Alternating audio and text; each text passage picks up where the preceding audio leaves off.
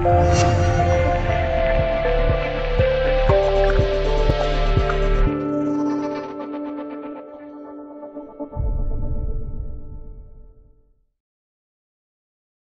料图：俄罗斯 S 三零零防空导弹系统。环球网军事十二月二十九日报道，俄罗斯卫星通讯社十二月二十八日报道，十二月二十五日，叙利亚防空军依靠俄罗斯自动控制系统，成功击退以色列空军大规模空袭。这些自动控制系统是在俄罗斯伊尔二十 M 军基地中海悲剧失事后，被迅速运到大马士革的。据俄罗斯国防部消息，十二月二十五日晚，以色列空军六架 F 十六战斗机进入黎巴嫩领空，从那里用 JBU 三九高精度制导炸弹对大马士革地区设施发起空袭。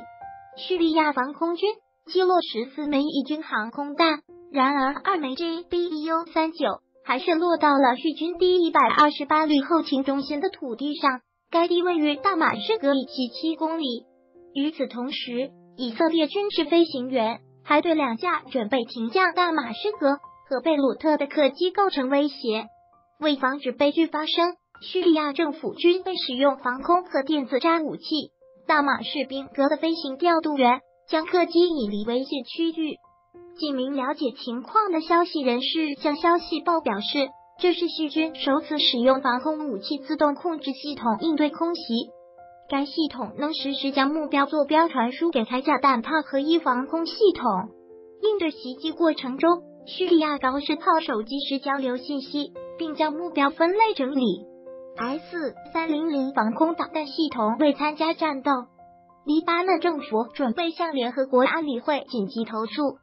军事专家安东拉夫洛夫向消息报表示，以色列空军在袭击叙利亚北部和中部地区时。一直使用黎巴嫩空域。安东拉夫洛夫向消息报表示，GBU 三九炸弹比巡航导弹更难击落。我们看到叙利亚防空在朝正确方向改进。黎巴嫩空域对以色列空军来说越来越不安全。俄罗斯空军防空导弹部队前指挥官亚历山大格里科夫向消息报表示，使用自动化系统时。防空军官们不用花时间处理信息，只需要跟踪局势发展，判断哪个目标对防御设施更加危险，并下令摧毁。